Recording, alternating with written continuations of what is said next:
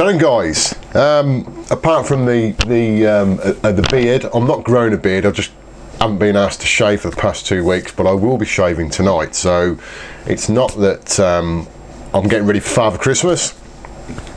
It's just because I couldn't be bothered to shave. Anyway, anyway, back to more important matters.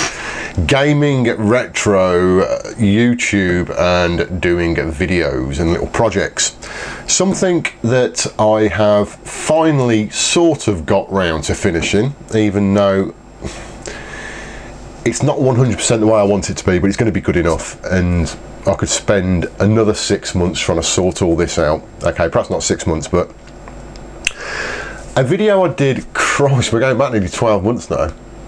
January, February, March, something like that. It was a bit of a teaser video, and it was concerning a green Perspex box with a circuit board in there, and a number of you guys guessed what that actually was, and, and yes, it was a Raspberry Pi. Something I wanted to do was to have a play around with a Raspberry Pi and an emulation, uh, just to go through a bit of a a sort of learning process for me really about understanding the Raspberry Pi, uh, the emulators on there, setting everything up, getting it all running and so forth. And when I first started looking at it, uh, because these units are really, really cheap to buy, they're, they're sort of 25, I think I picked my Raspberry Pi up as the circuit board itself for 25 pound and and they're a pretty powerful I wouldn't okay they've been they've been termed as being uh, mini PCs or a little PC I, I wouldn't I wouldn't quite go that far but I suppose they are really. I suppose they are. I suppose they are. Um, and I wanted to play around with it see what it was capable of doing what it wasn't capable of doing. I'm not I'm not overly in, into into emulation or so forth, but it was something that I just wanted to get my head around and just wanted to try different things. And the more and more I got into it, uh, the more and more I found uh, the need for me to be able to customize things on the Raspberry Pi. And this is concerning the front end. So the front end for the emulators. Um, and there's a lot of uh, images out there on the internet that you can download, stick them straight onto a memory card, throw them straight to Raspberry Pi, and it will work. It'll have all the ROMs on there, um, and the actual uh, the actual way that the front ends are presented are called themes.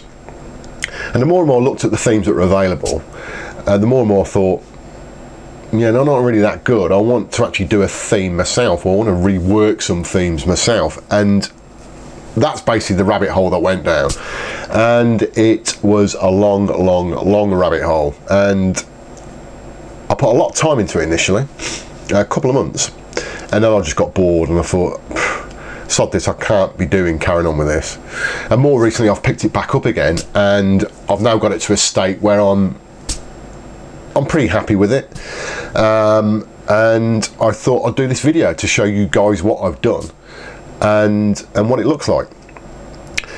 First things first is the Raspberry Pi itself. Now, I've actually changed cases since uh, the first case that I bought, and um, I suppose really because of all the all the Nintendo, I say all the Nintendo, there's been two Nintendo Minis that have come out. There's been a NES Mini and a SNES Mini, and you guys would be fully aware of that. Uh, what's recently come out is an actual case that's based on the NES Mini for the Raspberry Pi, and it looks absolutely awesome. I, I love it. I think it looks absolutely great. Uh, the build quality is, is is fantastic, and that's the case there. It's actually called a NES Pi case, so it it's it, it's clearly based, or it's supposed to be a NES, um, and more so a NES Mini, but but the, but the build quality on it, and you know, it's got all the buttons on the front. Uh, it's got two USB ports, and you flip up the cartridge port, and it's got some more USB ports, and your network uh, Cat5 connector. At the side, you've got a little hole there for the memory card. It's got the ROMs on there, what the actual uh, system software, etc. You've got a mini USB uh, power input you've got an audio output and you've got HDMI uh, output. and it's it's a real it it's it does look fantastic, it really does. Uh, the cases aren't particularly cheap, but I think they're worth it for what they are. Uh, this case cost me £30. If you're willing to wait a bit longer for delivery, you can get them from China, exactly the same case, you get them for uh, between 15 and £20. I couldn't be asked to wait, I wanted it uh, more or less straight away. So, as an actual unit, so with this and the Raspberry Pi, you're going to be talking around about 55 pound. Uh, you've got to go uh, you've got to buy a controller as well but I already had a controller USB um, uh, Xbox uh, 360 controller wired one.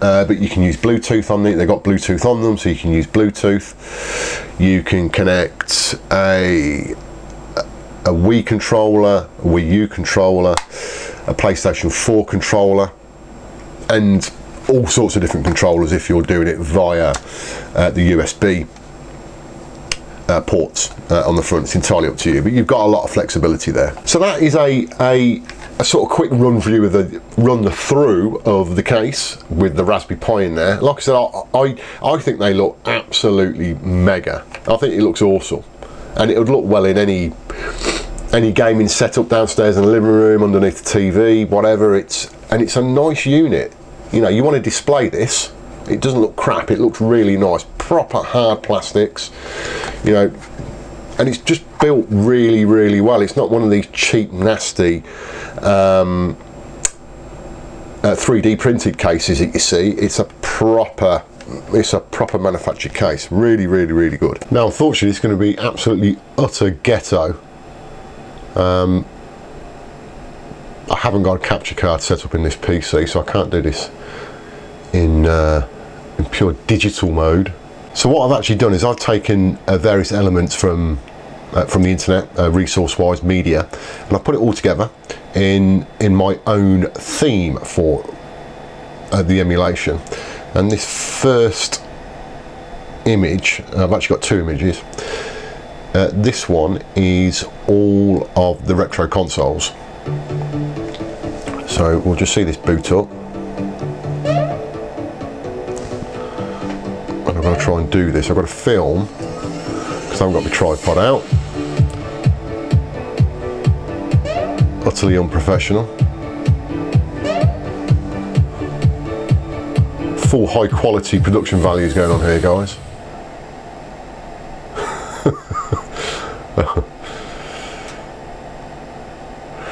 right, so the way I've designed this is um, I've actually taken a set of themes that we use for something called Hyperspin. Uh, if any of you guys know about Hyperspin, Hyperspin is a PC-based emulation front end, and I really love the Hyperspin look and feel, and I've basically remastered all of the uh, PC-based Hyperspin themes uh, to make my own RetroPie theme. Now, I'm not aware that anyone else has done this, and if they have, it, it hasn't been shown on the internet. So this is this is all mine uh, in respect of uh, me uh, remastering um, uh, original uh, Hyperspin themes for the use on the RetroPie system. So I'm not going to go for everything, but effectively what we've got here across the menu bar that I've created at the bottom of the screen, uh, you've got the consoles. And we've got loads of things on here. I think something like 40 systems I've got emulated. Uh, with real good ROM sets on each one. So we've got various uh, Atari systems, uh, ColecoVision, Vectrex, PC Engine. Oh, you got a bit of PC Engine, haven't you? Uh, PC Engine CD, SuperGrafx, Turbo Graphics, and Nintendo 64. Now all this stuff has took me so long to create, but I think it looks, I think it looks pretty awesome. A Nintendo, Super Nintendo, this system. Super Famicom, Neo Geo, 32X, Sega CD, uh, Genesis, Sega Master System, SG-1000, still going, Lynx, WonderSwan, Wonder Swan Colour, Game Boy, your favourite, Game Boy Advance, and we're still going. A Game Boy Color, Virtual Boy, Neo Pocket, still going. Neo Pocket Color, Game Gear, Amstrad CPC, uh, Commodore 64, Amiga, Odyssey, MSX, MSX2, still going, Sinclair Spectrum, a television, how old's that? And finally Nintendo DS. And each one, so if we just go over to, let's find a, a, a uh, right that man, let's go to, let's go to PC Engine CD. And each each sub theme, so each theme for each system, uh, looks like this. So you click on the actual system you want, and then it then goes through to uh, wheels. Wheels. It then goes through to the name, and they're called wheels. So you've got the uh, the names of the games across the bottom, and then you've got the video uh, that shows the game uh, above it. Yeah, so you can see what the game is if you don't know what the Chinese is, or Japanese, I should say. Sorry. So if we just come out of that, and we go to let's. I don't know. Let's go to uh, Genesis. Let's go to CD.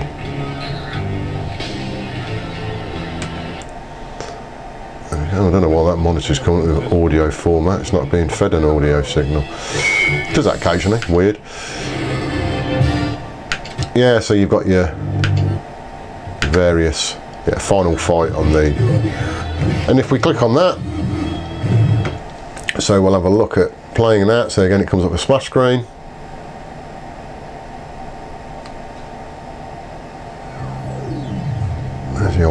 Boot doobery. Start that. And of course, oh, chair squeaks. Uh, there is scan lines enabled. Can't see, it's not going to focus properly, is it? But you can't have the solid uh, sprites on this. You've got the old scan lines, haven't you? The old scan line. Hoof! And everything plays as you expect to do on an emulator, you know? So that's the multi, multi-system image that I've created. And like I said, there is a load of emulators on there. And they've all got, apart from systems like DS, um, I think the DS is the only one. Everything else has more or less got uh, full ROM sets on them. So there's a hell of a lot on that one image and it's 128 gig. So it's a big image. So I will now show you the other image that I've got. Right, so this is the second image and, and this is also 128 gig uh, image, but this is rammed full of old arcade stuff, so it's using MAME and also PlayStation 1. It's got a hell of a lot of PlayStation 1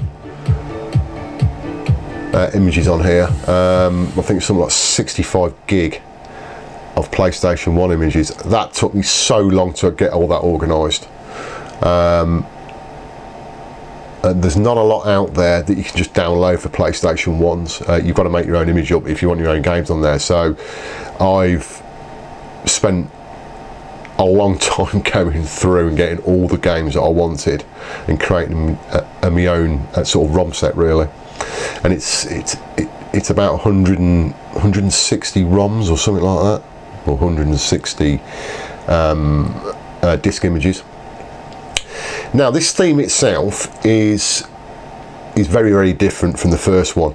This is effectively someone else's theme that I've just used um, uh, just to get this up and running uh, quickly with these two massive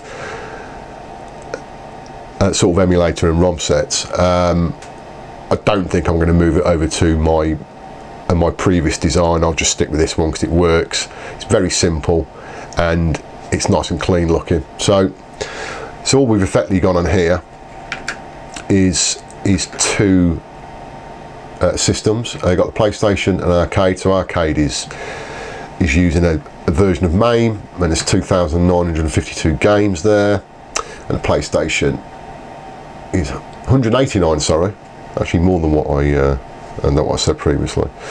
Uh, but they all work very similar. So you know, again, you've got all your all your different uh, games and of course with the amount of games you've got on here it'll take you a billion years to uh, sort of get through all these but uh, and again they all work uh, very similar to what you just saw in the previous image in the way that they come up um, let's uh, da, da, da, battle Bakraid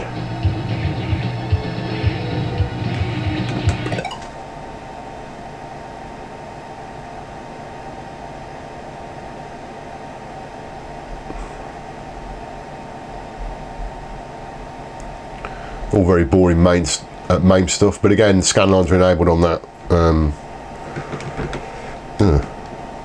should have picked that one should I see scan lines are on there. I can't see the point if you're going to emulate not having scan lines on but it just breaks the image up a little bit I think. I just prefer the look of it. I know some people don't but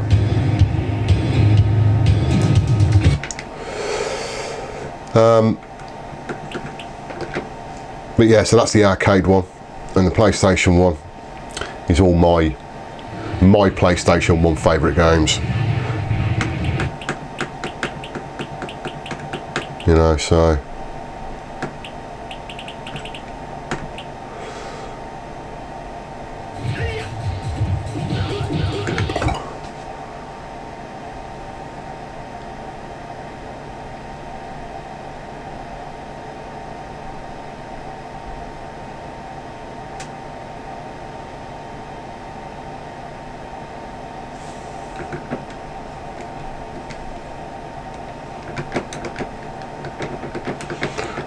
with it.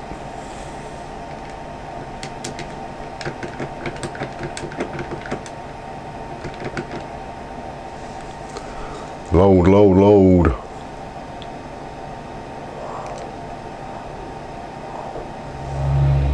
Capcom versus SNK. Again, scan lines. Don't insult my eyes by not using scan lines. but yeah, so it and it all works really well. Just come back out, go back to the main menu. Yeah, so you've got all the all the video images on here. Oh, sorry, goof that up, fingers slipping.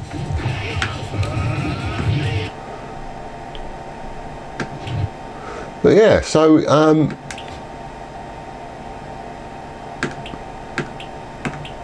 it was a bit of a mission getting all this done, but um, I've learned a hell of a lot, which was the main reason for doing it, to be honest.